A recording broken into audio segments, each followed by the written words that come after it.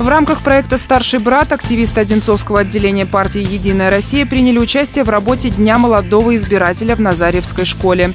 Старшеклассникам подробно рассказали о системе и структуре избирательного процесса. Недавно в этой школе проводились выборы ученического самоуправления. Кроме того, ее учащиеся принимали участие в олимпиадах по избирательному праву.